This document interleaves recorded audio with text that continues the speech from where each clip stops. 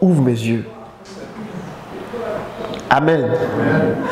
Quand tu vas commencer à voir que l'eau est amère, ne sois pas, ne sois pas inquiet. Il faut faire comme Moïse. La Bible dit que Moïse cria à l'éternel. Seigneur, l'eau est amère, on veut boire. Il cria à l'éternel. Qu'est-ce que le Seigneur a fait? Le Seigneur a révélé un bois. Un type de bois à Moïse. Le Seigneur a donné une révélation à Moïse et il dit jette ce bois dans l'eau.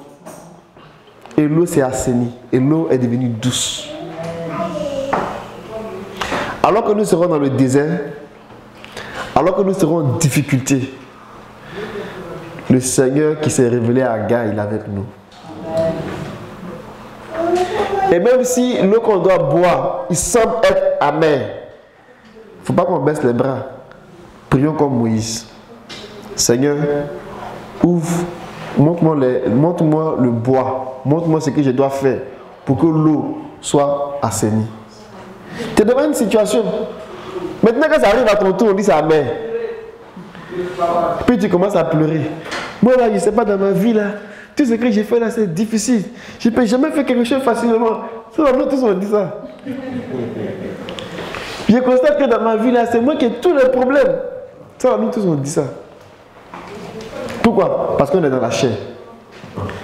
Mais le Seigneur a dit, cherchez premièrement le royaume des cieux. Et tous chez vous seront par-dessus tout. Il n'a pas dit, il n'a pas, écoutez bien, il dit chercher le royaume des cieux. Donc pour ce qui est du royaume des cieux, on va, on va creuser. On va travailler. Vous comprenez? Mais pour ce qui est de la terre, ça nous sera donné comme pour Agar. Pourquoi qu'on investe? Oh, pour la prière, eh bien, on fait ce qu'on peut. Et puis pour les choses de la terre, tu travailles dur. Il dit, ne travaillez pas pour la nourriture qui périt, mais travaillez pour la nourriture qui ne périt pas. Et puis pour la nourriture qui périt là, lui va se pouvoir. Amen. Amen. Donc, cherchons premièrement le royaume des cieux et les autres choses nous seront données. Ça, c'est la parole du Seigneur. La Bible dit que le bruit de sa voix est comme le bruit de grosses eaux. Est comme le bruit de l'eau du torrent. Mais qui c'est une eau qui donne la vie. Ceux qui entendent la voix du Fils de Dieu, ils auront la vie. Ceux qui ne la reçoivent pas, ils n'auront pas la vie. Alors que nous entendons cette parole-là, Acceptons-la et croyons en elle. Sinon, c'est en vain que tu vas travailler. C'est en vain que tu vas te fatiguer si tu n'apprends pas à mettre ta confiance dans le Seigneur. Cette grâce, elle est disponible. Le puits est disponible. Amen. Dieu va nous faire rentrer dans son repos. Mais ce que Dieu veut là, il veut que les gens aient soif.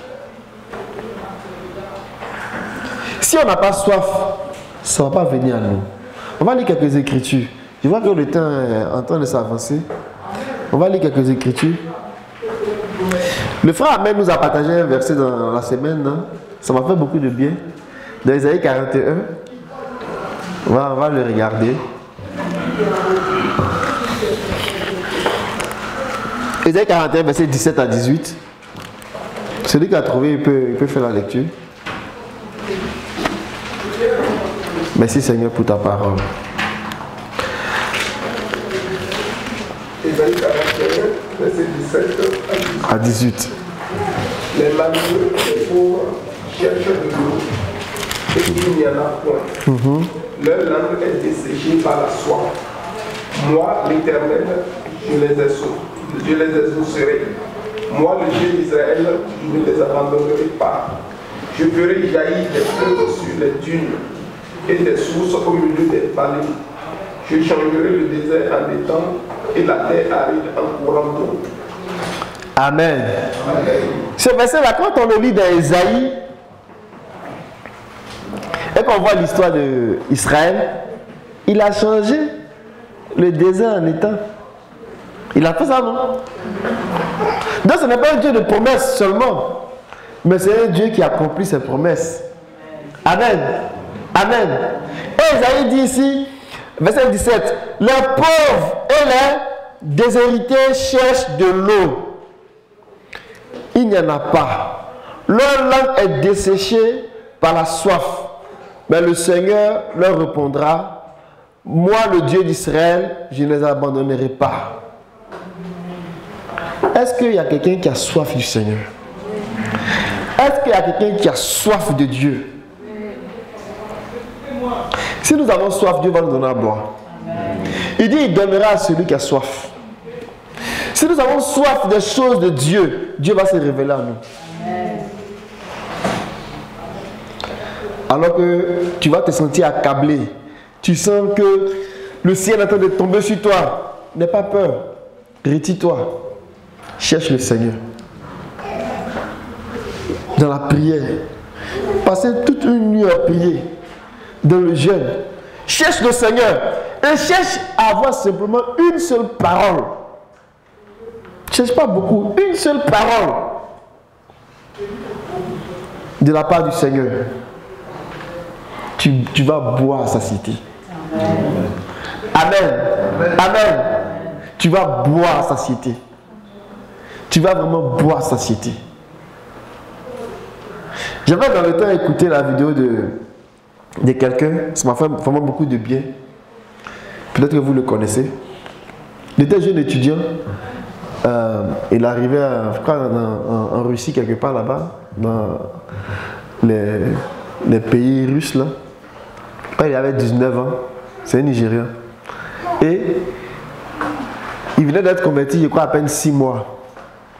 Et il a commencé à chercher le Seigneur. Il dit, lui, il faut qu'il y ait le réveil dans ce pays-là. Quand il vous parle de ce pays-là, il dit, on enseigne que la philosophie, on enseigne que les mathématiques pour montrer aux gens que Dieu n'existe pas. Mais lui, il dit, non, il faut que lui, il voit Dieu. Et il s'est mis à l'écart avec un de ses amis, ils ont commencé à prier. Il priait chaque jour. Chaque jour, il priait, il voulait voir un réveil. Chaque jour, il priait. Et le ciel s'est ouvert.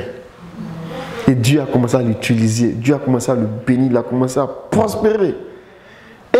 Pendant qu'il prêchait un jour, et puis il dit, mais comment vous pouvez vous imaginer que un noir va venir enseigner des blancs, en plus en Russie, comment on vit?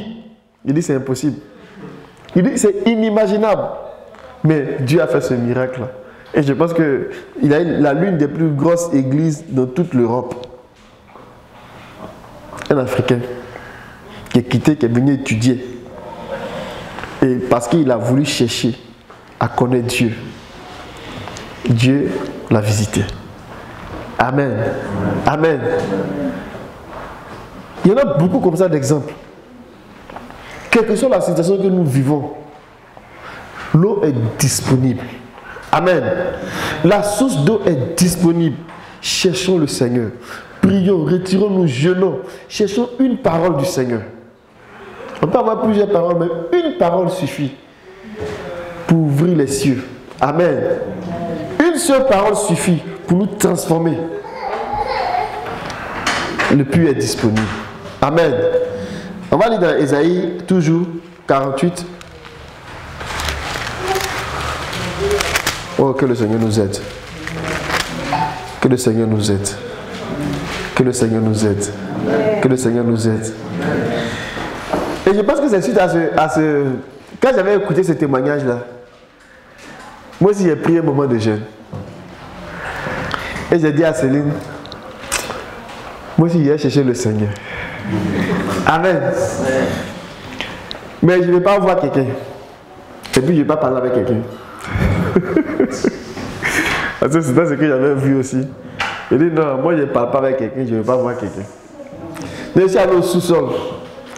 J'ai fait trois jours de jeûne. Je ne suis pas monté. Il dit je ne vais pas voir un homme. Je ne vais pas voir la face d'un enfant. Et je ne vais pas parler à un homme. Il faut que le Seigneur me parle. Et je suis resté en bas là-bas. Et je pense que, bon, je ne sais pas si c'est, si on va dire était sage ou pas sage, bon, ça c'est pas mon problème. Mais même je fais ma voiture en hiver, il a laissé tout ça là même. Et après trois jours, que ma voiture ne. ma voiture ne démarrait plus. C'était pas grave. Mais Je vous dis que je suis rentré là-bas, je suis sorti. Ça n'avait l'air de rien.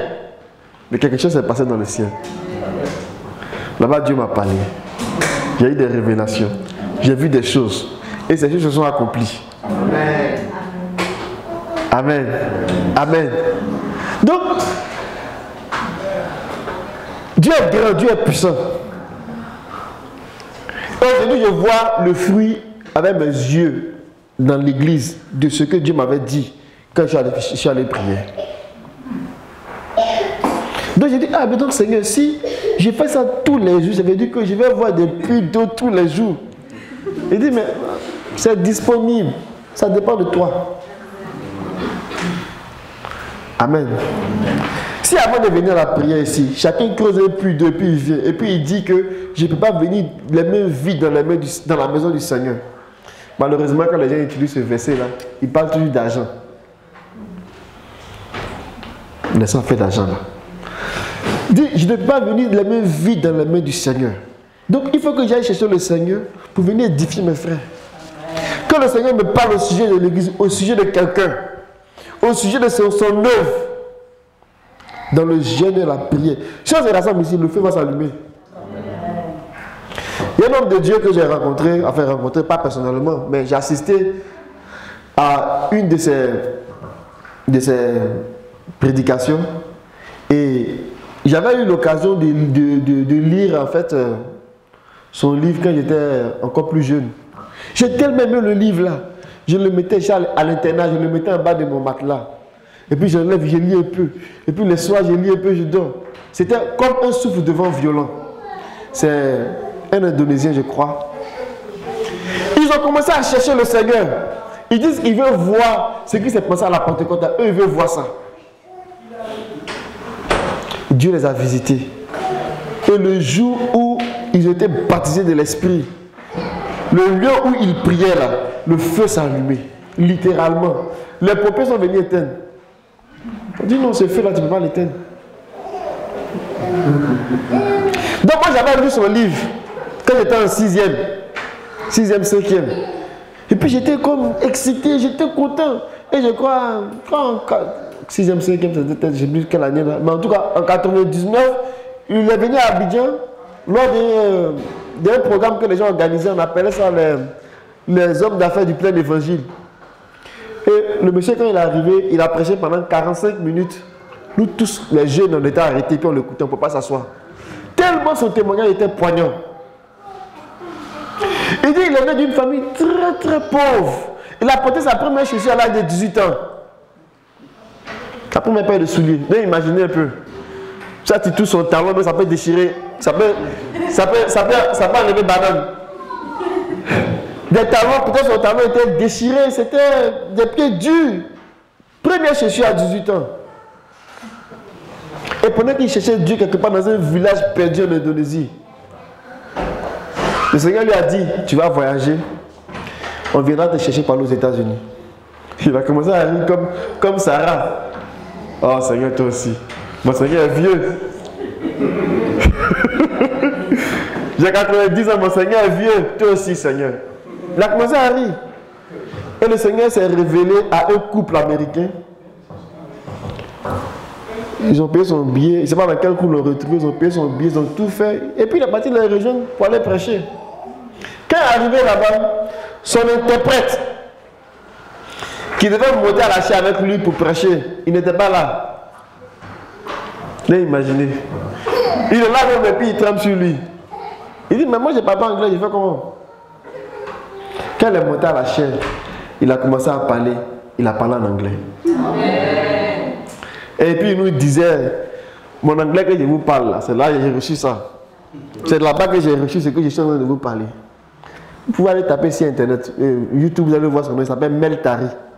Meltari. M-E-L-T-A-R-I. Meltari. La grâce est disponible. Amen. Amen. Cherchons le Seigneur. Pendant qu'il est temps, cherchons le Seigneur. Pendant qu'il est temps, cherchons le Seigneur pendant qu'il est temps. Amen. Amen. Que le Seigneur nous fasse grâce. Regardons un autre exemple de, de Samson dans Juge 15.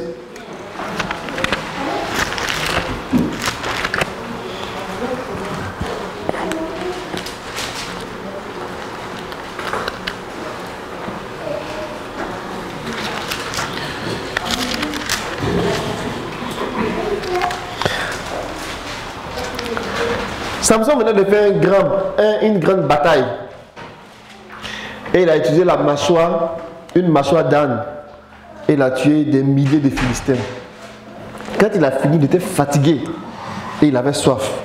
À partir du verset 17, juge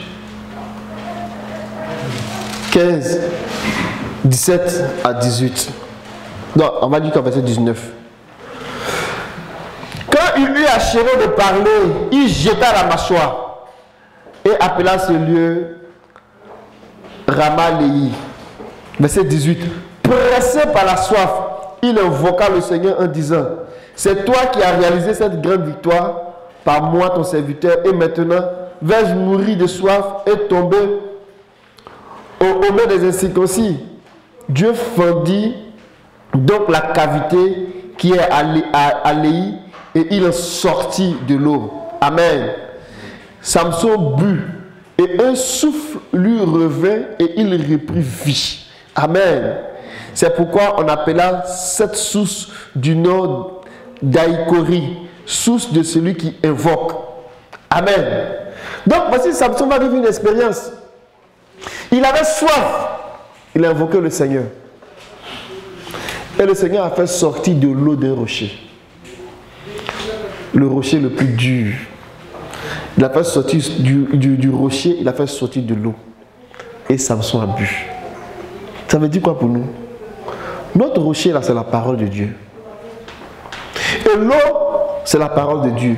Mais quand l'eau commence à couler, c'est l'esprit qui est en mouvement.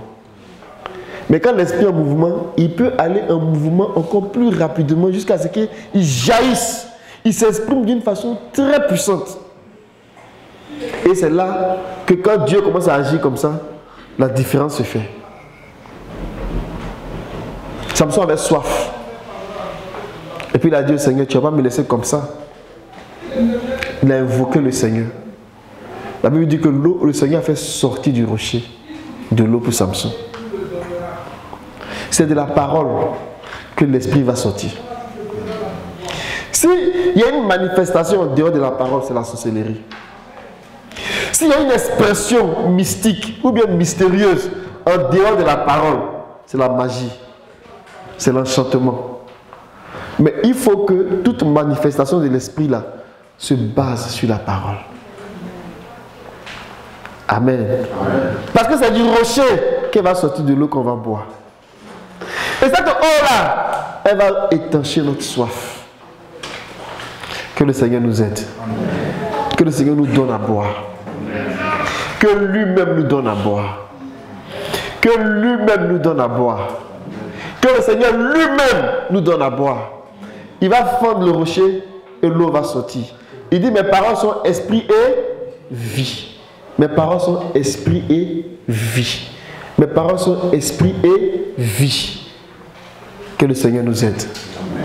Que le Seigneur nous aide. Amen. On va lire dans Jean, l'épisode de la femme samaritaine avec le Seigneur, vous vous souvenez de ça?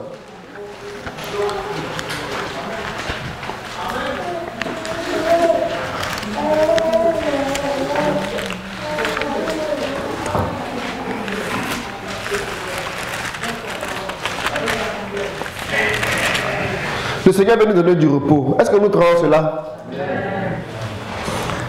Le Dieu qui donne du repos. Seigneur, donne-nous du repos. Quelle que soit la situation qu'on vit, le Seigneur est capable de nous donner du repos. Lorsqu'il a rencontré cette femme samaritaine, elle avait des problèmes. Je ne sais pas si elle était à son cinquième ou son sixième mari. Quand on lit le test, on a l'impression qu'elle était à son sixième mari. Il dit, tu en as eu cinq. Et celui que tu as maintenant n'est pas ton mari. Lorsque cette femme a croisé le Seigneur, elle a rencontré le Seigneur, voici ce que le Seigneur va dire à son sujet. Verset 10. Jean chapitre 4, verset 10. Lorsque le Seigneur lui a demandé à boire, elle dit, mais toi tu es juif, et puis tu me demandes à boire. le Seigneur a commencé à rire. Si tu savais que j'étais le rocher, duquel est sorti de l'eau que les enfants d'Israël ont bu, toi-même là, tu m'aurais demandé à boire. Si tu savais que j'étais le rocher, duquel Samson a bu de l'eau, toi-même là, tu m'aurais demandé à boire. Amen. Il est le rocher qui suivait Israël dans le désert. Le rocher qui suivait Israël dans le désert, c'est Christ. Amen. Donc, elle ne savait pas ça. Verset 10. Si tu connaissais le don de Dieu, et celui, et si tu connaissais le don de Dieu, et qui est celui qui te dit, donne-moi à boire, c'est toi qui lui aurais demandé et il te donnera de l'eau vive. Amen. Elle ne savait pas à qui elle parlait. Et le Seigneur lui dit, si tu connaissais celui à qui tu demandais, à qui tu disais, celui qui te demandait, si tu connaissais celui qui te demandait à boire, toi-même tu lui aurais demandé à boire. Elle ne savait pas qu'elle parlait au Seigneur. Et voici ce que le Seigneur va lui répondre. Verset 13. Quiconque boit de cette eau aura encore soif. Il parlait de l'eau qui sortait du puits de Jacob.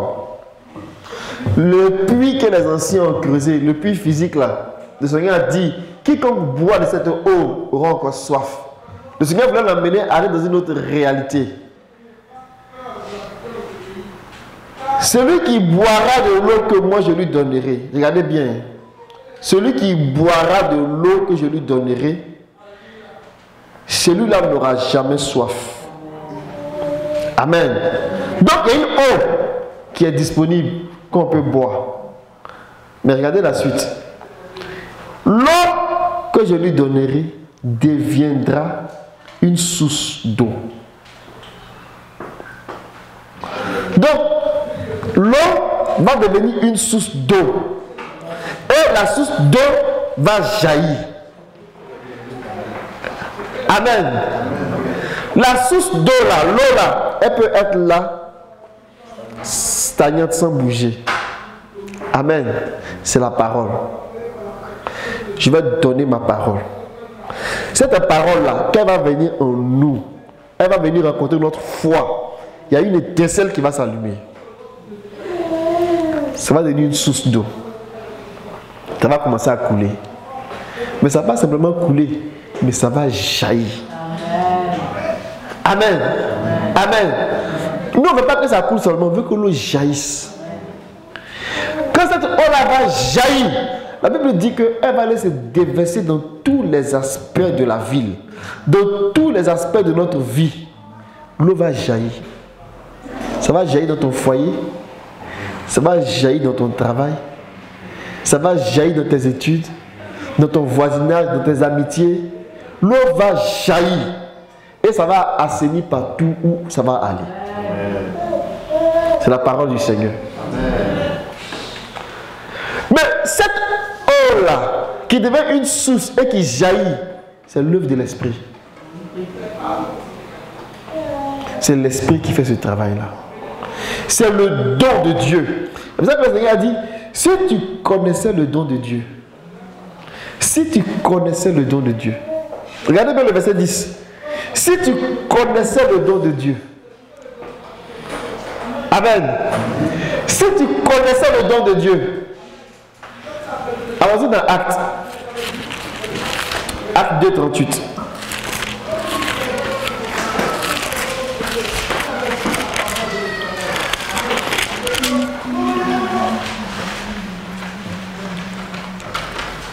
Et on va lire Acte, Acte 11, 17 aussi. Oui, Acte 2, 38, c'est dit qu'à lire. Pierre a dit, répondez-vous et que chacun de vous soit baptisé au nom de Jésus-Christ pour le pardon de, cette, de vos péchés Et vous recevrez le don du Saint-Esprit. Amen. Le don du Saint-Esprit. Cette eau vive qui doit jaillir de notre sein jusque dans la vie éternelle, c'est l'œuvre de l'Esprit. Il faut que l'Esprit soit manifeste. Il faut que l'Esprit s'exprime. Il faut que l'Esprit se révèle. Le don de Dieu. Si nous connaissons le don de Dieu, ce que c'est capable de faire dans nos vies, on sera prêt à payer le prix pour aller le chercher. Pas qu'il est payant. Il a dit ceux qui ont soif, qui viennent et qui boivent gratuitement. Mais il y a des conditions pour que l'esprit s'exprime. Rassemble le peuple, je vais leur donner à boire. Mais chantez un cantique. Chantez un cantique. Chantez des hymnes. Chantez des psaumes. Adorez, priez, et dites, puis monte.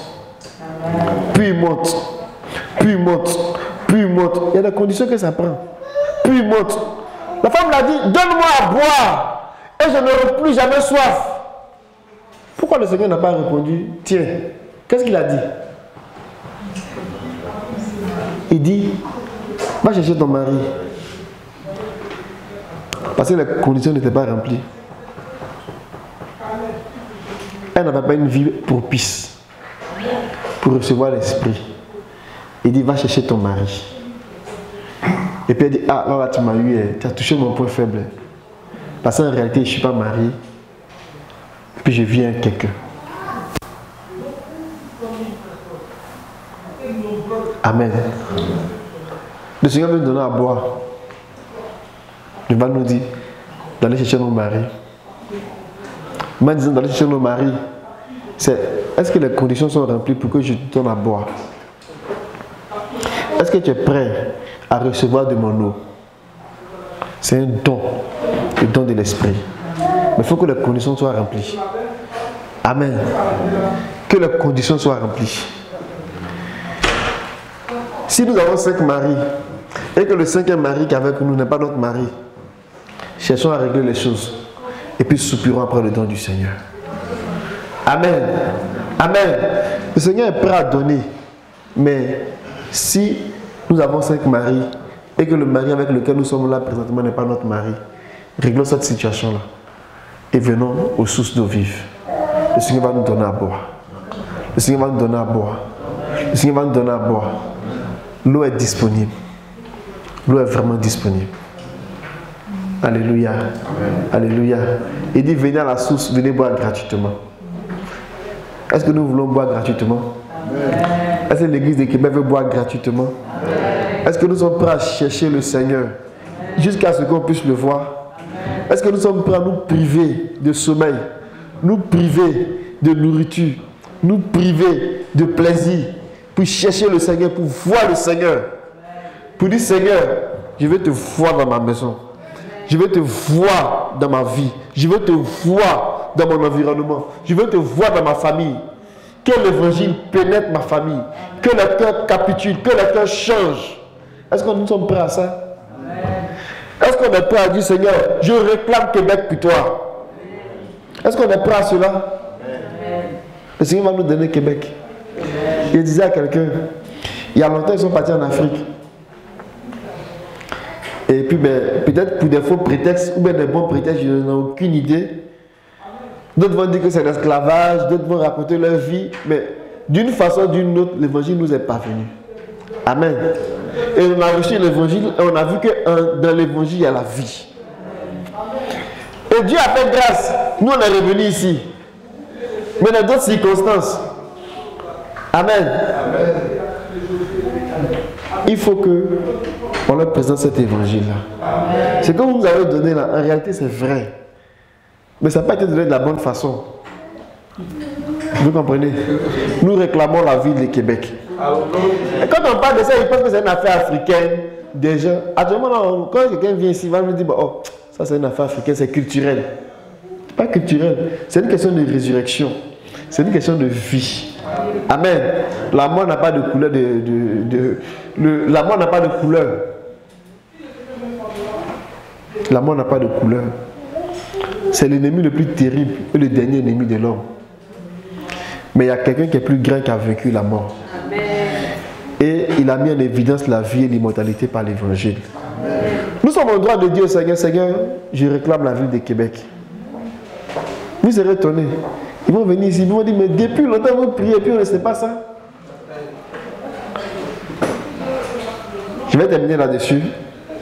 J'ai discuté un jour avec mon collègue, un collègue euh, de travail. Et puis, je lui disais que ben, nous, les dimanches, on, on prie le Seigneur, on, cherche le Seigneur. Je lui parlais du Seigneur, tout ça. Il m'a dit, ah oui, ça doit être intéressant ça. Mais c'est quoi le... Les gens qui viennent là, c'est quoi en fait